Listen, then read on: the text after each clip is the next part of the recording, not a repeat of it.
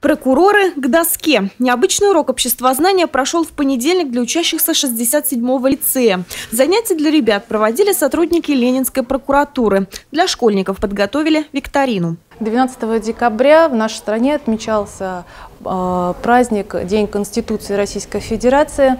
Это один из э, главных государственных праздников нашей страны. В связи с чем прокуратура Ленинского района города Иваново в целях правового просвещения несовершеннолетних э, в лицее номер 67 проведена викторина – на знание ребятами Конституции Российской Федерации. Десятый класс разделили на две команды. Каждой предстояло ответить на вопросы викторины. Сколько лет главному закону государства? С каких слов начинается российский гимн? На сколько лет избирается президент и в каком возрасте можно претендовать на эту должность? Если честно, это было достаточно несложно. Как по мне, викторина была достаточно легкой, и мы на все ответили, кроме одного вопроса насчет образования, как ни странно.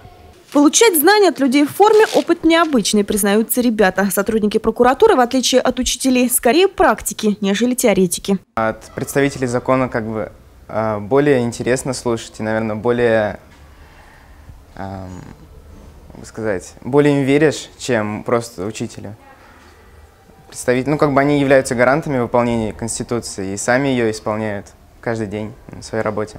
Прокуроры провели викторины в двух классах. В игровой форме и урок проходит быстрее, и информация запоминается лучше. Сотрудники надзорного органа намерены и дальше посещать уроки обществознания и рассказывать школьникам об их правах интересных случаях из своей практики. Елена Белова, Андрей Семиволков, РТВ Иванова.